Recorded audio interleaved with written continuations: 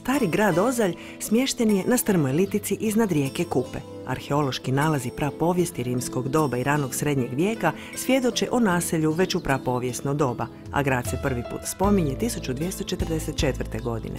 Od kraja 14. stoljeća u vlasništvu je Frankopana, zatim obitelji Zrinski sve do 1671. kada započinje mračno doba u kojem je grad opustošen i opljačkan.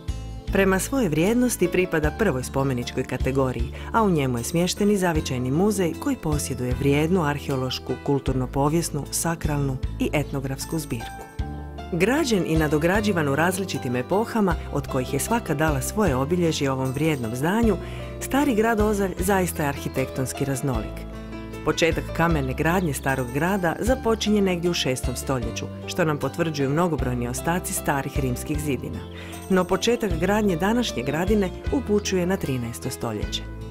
Od 1244. godine u posjedu je kralja, zatim obitelji Babonić, Frankopana, Zrinskih, Perlasa, Batijanija te Turni Taksisa, koji je 1928. godine darovnicom predaju družbi braća Hrvatskoga zmaja, današnjim vlasnicima.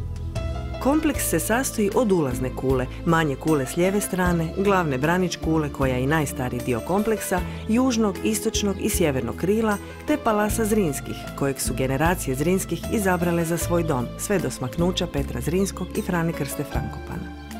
U stari grad se ulazi preko drvenog mosta koji je do 1821. bio pomičen. Srednji stup koji nosi most zapravo je nekadašnja kula stražarnica koja je s otvorima za strijelce služila za obranu gradskog opkopa. Grad je podignut na živoj stijeni koja se strmo uzdiže nad rijekom Kupom i do danas je sačuvao autentičnu arhitekturu.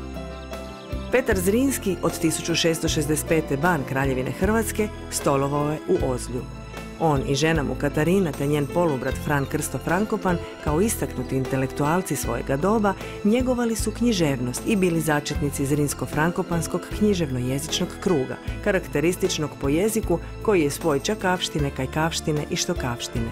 Tako je Ozalj u to doba bio i politički i kulturni centar Hrvatske. Početkom 20. stoljeća javlja se na ozeljskom području muzejska djelatnost, ali se tek 1971. unutar prostora staroga grada Ozlja formira zavičajni muzej. Svojom građom obuhvaća povijest od 6000 godina, razdoblje mlađeg kamenog doba, eneolitika, rimskog razdoblja i seobom naroda. Obuhvaćen je i rani srednji vijek i priča o velikim obiteljima, gdje se posebno ističu Frankopani i Zrinski. Ovo je jedan od malobrojnih muzeja koji pokriva široku povijest obitelji Frankopan i Zrinski, te njihovu kulturnu djelatnost poznatu kao Ozeljski kulturni krug. Frankopani su podržavali uporabu glagoljice, Nikola i Petar Zrinski pak bili su mecene i pjesnici, te kolekcionari knjiga. Muzej skuplja i čuva materijalnu i nematerijalnu baštinu ozeljskog kraja i to u nekoliko zbirki – tako imamo kulturno-povijesnu, dokumentarnu, etnografsku, sakralnu te zbirku fotografija i zbirku slika. Današnji vlasnici starog grada Ozlja, koji brinuje o mnogim drugim kulturnim spomenicima u Hrvatskoj, je družba braća Hrvatskog zmaja. 1905. godine osnovali su ga Emili Plemeniti Laslovski i dr. Velimir Deželić Stariji. Poseban dio posvećen je Slavi Raškaj, ozaljskoj gluhonjemoj slikarici, čiji akvareli predstavljaju najviši domet hrvatskog akvarelnog slikarstva krajem 19. i početkom 20. stoljeća.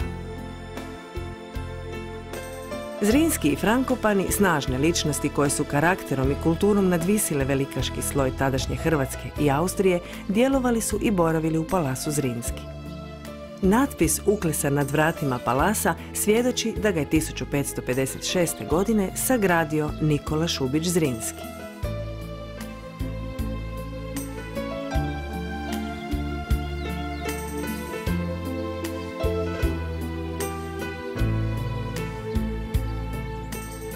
Danas smo svjedoci sačuvane ljepote veličanstvenog starog grada Ozlja, koji je kroz stoljeća odoljevao razaranjima. Obnovom i brigom sačuvano je ovo prekrasno zdanje ispisano stoljetnim stranicama burne povijesti. Kao dragulj, kako povijesne, tako i bogate kulturne hrvatske baštine. 18. kolovoza 1908. godine u Ozlju na rijeci Kupi je puštena u pogon mala hidroelektrana Ozalj 1 ili Munjara i u početku je služila samo za javnu rasvjetu grada Karlovca, a potrošnja je bila besplatna. Karlovac je tako nakon Šibenika bio drugi grad u Hrvatskoj s javnom električnom rasvjetom.